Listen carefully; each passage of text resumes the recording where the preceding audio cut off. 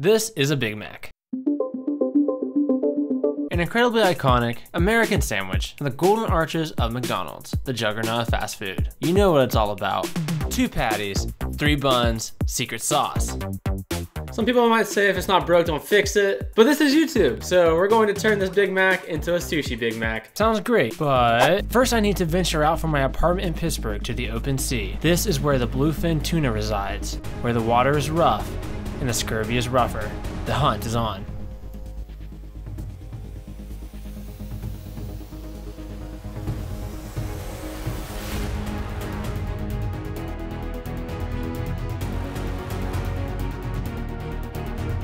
It was a long day, but right before nightfall, I finally got my prize.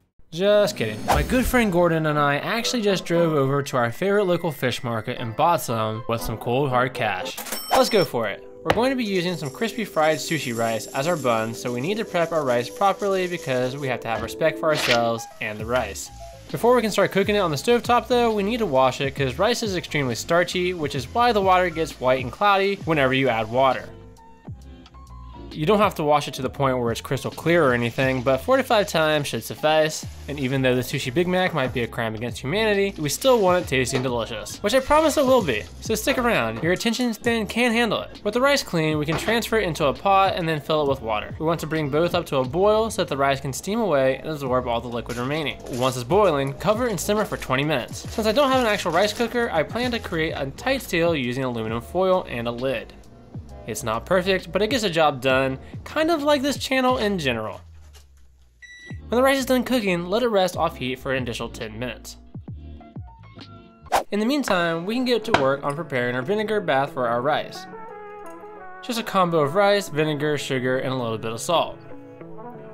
This combination is why sushi rice is typically a little sweet and acidic, and most importantly, tastes good.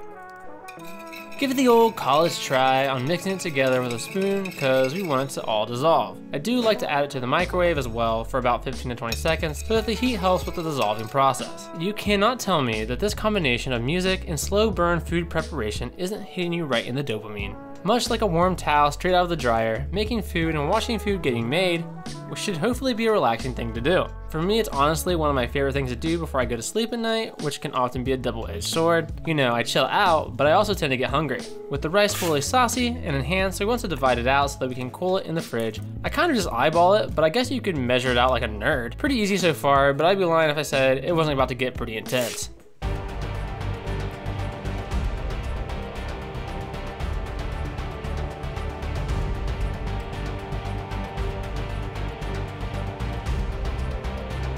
The rice is resting in the fridge, so let's get started on prepping everything else. It's veggie prep time. The only time I get to show off my okay knife skills that I have been developing over the better half of a year. I think it goes without saying that cutting up stuff extremely fast is like most of the appeal of cooking shorts, Instagram reels, and dare I say TikToks. With the jalapenos, or jalapenos, thin slices are the way of great success. The sandwich is going to be extremely textured already, so we really just want the flavor, plus it'll make stacking everything easier when the time comes. You'll see what I mean later on. This sandwich is gonna get beefy. It might end up being pretty tall. Okay, so now it's time to peel a big meaty cucumber. If you've seen other videos of mine, you know I hate peeling pretty much anything, but at least cucumbers are generally one of the easier peels. Same with jalapenos, we want very thin slices. The cucumber and the jalapenos will balance each other out, and I also wanted the sandwich to be similar to a spicy tuna roll you get in a restaurant. Here's a trick when it comes to cutting boards. Lay a slightly damp paper towel underneath your board so that it doesn't move around. Also, since we're going to be slicing up tuna, I would advise against using a wooden cutting board. The goal is to cube mince this large and in charge chunk of tuna so that we can eventually add it to a good deal of sauces and season it to make it a spicy blend. The tuna has a little bit more fat content than what I was hoping for, but it's still pretty nice. If your knife is properly sharpened, you should be able to cut through it like butter. Like I previously said, we want the tuna diced up, but varying in size and texture to keep your taste buds on the toes. For the flavoring, we're going to be using some sushi staples. A little bit of sesame oil, you universally love soy sauce to give it some additional umami flavor and saltiness, toasted sesame seeds, some Japanese mayo, and some sriracha to make it spicy.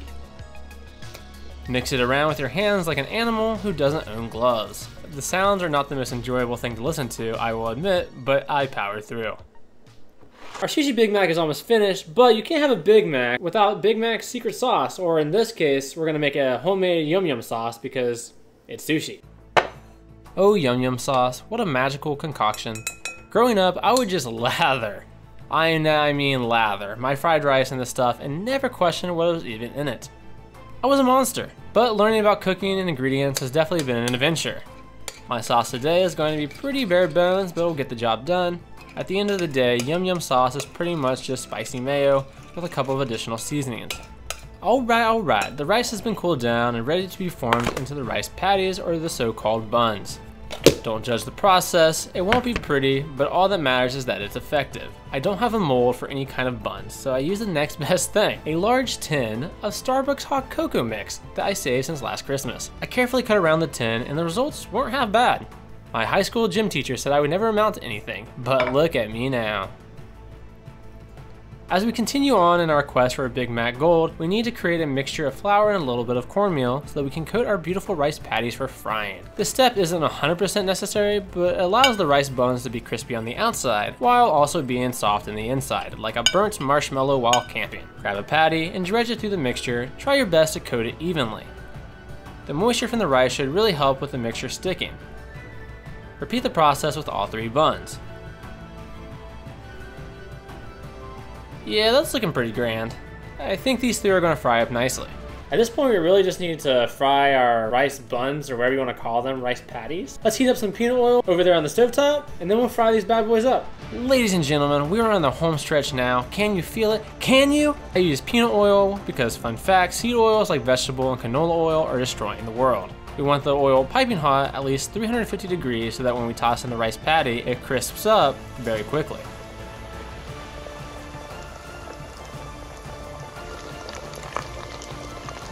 Fantastic. It turned out better than I could have ever imagined. But now repeat for the other two, and then we can move on to the last step, which is slicing up a ripe avocado. The rice patties buns are fried up, so now I'm gonna slice up an avocado, and then we should be good to go. Continuing the theme of trying to teach stuff while being charismatic slash entertaining, a good way to manage an avocado for slicing is to quarter it, instead of just cutting right down the middle. Doing so allows for easier peeling, and getting the pit out is a piece of cake. The slices should be somewhat thin, but it's really up to you. I'm not really that concerned with avocado since it's already pretty gelatinous, and it will keep everything in place regardless. With everything finally prepped though, we can build our masterpiece. Let's start this long build with a single rice patty. Follow that up with a spread of our yum yum sauce. Throw on some seaweed salad that I bought at the store, cause why not? Next we'll place down our avocado slices, followed by a good helping of our spicy tuna mixture. Then we can add some of our other prep toppings. Next, our crucial middle bun, another layer of yum yum, followed by slices of cucumber and then jalapenos. Top with another layer of spicy tuna, drizzle some Kewpie over that, garnish once again, and then complete our sushi Big Mac with the top bun.